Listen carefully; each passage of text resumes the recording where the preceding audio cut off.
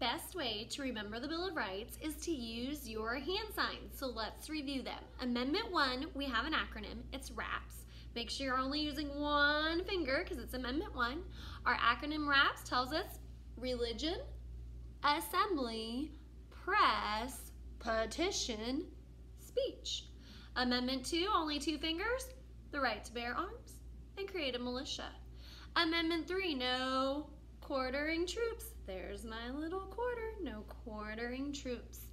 Amendment 4, no search and seize without a warrant. There's my four fingers, Amendment 4.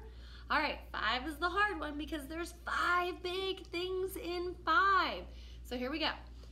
I have to be charged with a crime, no double jeopardy, no self-incrimination, stand trial, and eminent domain. There's my land. So there's five big things in five.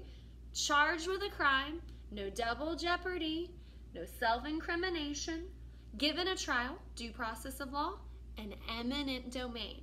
Amendment 6, three fingers on each side, deals with my criminal trials. I'm running away from the law. Amendment 7 is my civil, person to person. You're suing them, money.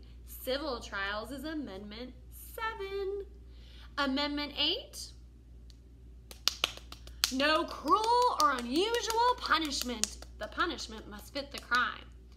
Amendment 9, the people have more rights. It comes on in. The people have more rights than what's listed. And then Amendment 10 is, of course, the states. The state power and the rights that they have, that whole idea of federalism. So remember your hand signs and you'll remember the Bill of Rights.